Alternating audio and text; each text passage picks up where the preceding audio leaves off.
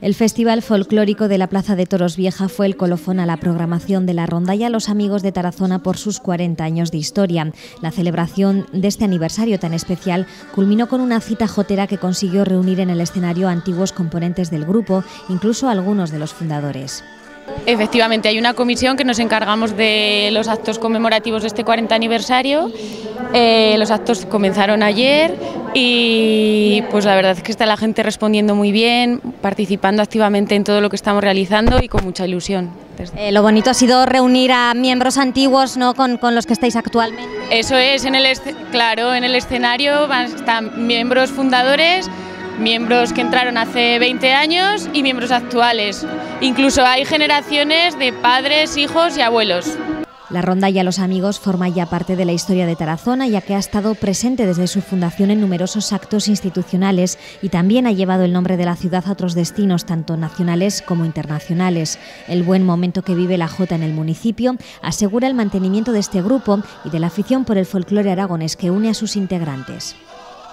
Sí, porque no todos los grupos eh, tienen la suerte de, llegar a los 40 años y, somos afortunados y que todo el mundo eh, se vuelque como se está volcando. Y además de toda esta gente nueva a la que se está incorporando, viene con muchas ganas, muchas ganas, mucha fuerza y sí, sí. A todo nivel, o sea, hay mucha a nivel de escuelas, de grupo, sí, la gente está volcada, la J en Tarazona está, muy, está en auge. El recuerdo a Saturnino Domínguez Ruiz estuvo presente en las jotas que se escucharon desde el escenario de la Plaza Vieja.